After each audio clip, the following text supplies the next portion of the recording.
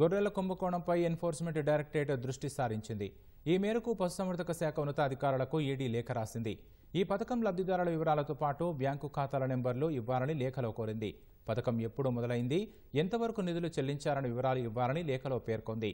దాదాపు ఏడు వందల కోట్లు అవినీతి జరిగినట్లు అనిసా అధికారులు గుర్తించిన క్రమంలో ఇందుకు సంబంధించి అన్ని వివరాలు తమకు ఇవ్వాలని తెలిపింది.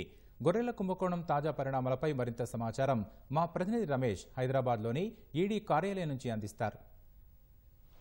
గొర్రెల పంపిణీ పథకం కేసులో కుంభకోణానికి సంబంధించి ఇప్పటికే ఏసీబీ అధికారులు దర్యాప్తు కొనసాగుతున్న సంగతి తెలిసింది. అయితే దీంట్లో దాదాపు ఏడు వందల కోట్ల రూపాయలు అవినీతికి పాల్పడినట్లు కూడా ఏసీబీ అధికారులు గుర్తించారు. దానికి సంబంధించితో పాటు ఈడీ అధికారులు కూడా దీనిపై విచారణ చేయాలని చెప్పి కూడా భావిస్తున్నట్లు భావిస్తున్నట్లు కూడా తెలుస్తుంది. అయితే ఇప్పటికే ఏడు వందల కోట్లకు సంబంధించి కూడా మనీ ల్యాండింగ్ పాల్పడినట్లు కూడా అధికారులు ఒక ఆరో అనుమానించినప్పటికీ దానికి సంబంధించిన ఆధారాలు కూడా పూర్తి స్థాయిలో సేకరించాలని చెప్పి కూడా ఎన్ఫోర్స్మెంట్ డైరెక్టర్కి సంబంధించి కూడా ఆ, పశువర్ధకు సంబంధించి అధికారులకు ఓ లేఖ రాయడం జరిగింది. ఆ లేఖకు సంబంధించి కూడా మొత్తం ఆ, లబ్ధిదారులకు సంబంధించి గత ప్రభుత్వం గొర్రెల పథకం సంబంధించి కూడా ప్రవేశపెట్టినప్పటి నుంచి ఎవరికి లబ్ధి లబ్ధిదారులు ఉన్నారో ఆ లబ్ధిదారులకు సంబంధించి కూడా చెల్లించిన నగదుతో పాటు వారికి సంబంధించిన ఖాతా వివరాలు వారి వివరాలు కూడా ఇవ్వాలని చెప్పి కూడా ఆ లే- లేఖలో పేర్కొనడం జరిగింది. వారు మరి అధికారులు ఇచ్చిన తర్వాత ఈ కేసుకు సంబంధించి కూడా ఎన్ఫోర్స్మెంట్ డైరెక్టర్ సంబంధించి కూడా లోతైన దర్యాప్తు చేసిన తర్వాత దీంట్లో ఎవరి పాత్ర ఏముంది? తర్వాత మనీ ల్యాండింగ్ సంబంధించి కూడా ఎంత మొత్తంలో జరిగింది? జరిగిన దానిపైన కూడా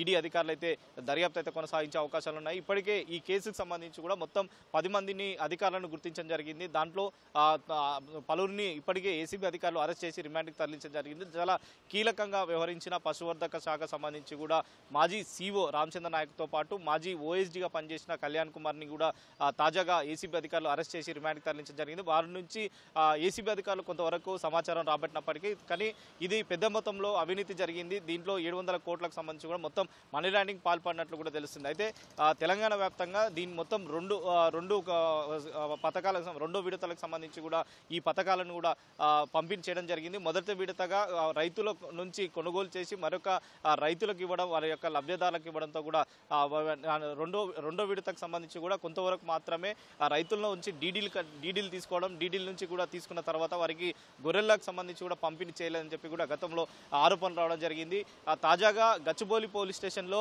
ఈ కేసుకు సంబంధించి కూడా నమోదు కావడం జరిగింది. ఆంధ్రప్రదేశ్కి సంబంధించిన రైతుల వద్ద గొర్రెలు కొనుగోలు చేయడం జరిగింది. కానీ వారికి సంబంధించిన బిల్లులు చెల్లించలేకపోవడం ఒక కాంట్రాక్టు తన సంస్థకు సంబంధించి కూడా మధ్యవర్తులతో తన బినామీ పేర్లతో మాత్రమే ఆ బిల్లులు చెల్లించుకున్నారని చెప్పి కూడా ఆరోపణలతో కూడా గచ్చిబౌలి పోలీస్ స్టేషన్లో ఆ కేసు నమోదు చేసి తర్వాత వాటిని ఏసీబీ అధికారులకు బదిలీ చేయడం జరిగింది. ఏసీబీకి బదిలీ చేయడంతో ఏసీబీ అధికారులు లోతైన దర్యాప్తు చేయడంతో దాదాపు ఏడు వందల కోట్లకు పైగా కూడా ఈ అవినీతి జరిగినట్లు కూడా అధికారులు అయితే భావిస్తున్నట్టు తెలుస్తుంది. కానీ దీంట్లో ఆధారాలు ఇప్పటికే ఏసీబీ అధికారులు సేకరించినప్పటికీ తర్వాత వాటిని పథకం పైన కూడా పూర్తి వివరాలు పశువర్ధక శాఖకు సంబంధించి కూడా అధికారులను ఈడీ అధికారులు అడగడంతో ఈడీ అధికారులకు ఇచ్చిన తర్వాత ఈ ఈ కేసుకు సంబంధించి కూడా లోతైన దర్యాప్తు చేయాలని చెప్పి కూడా ఈడీ అధికారులు అయితే భావిస్తున్నారు. దీంట్లో మరి ఎవరి పాత్ర ఎంత ఉంది అనే దాని మీద కూడా దర్యాప్తు తర్వాత ఈడీ అధికారులు కూడా చర్యలు తీసుకునే అవకాశం ఉంది. మరి ఇప్పటికే పలువురిని అరెస్ట్ చేశారు కాబట్టి వాటికి సంబంధించి కూడా వాటి నుంచి ఏసీబీ అధికారులు ఇప్పటికే స్టేట్మెంట్ రికార్డ్ చేయడం కానీ తర్వాత వాటికి సంబంధించిన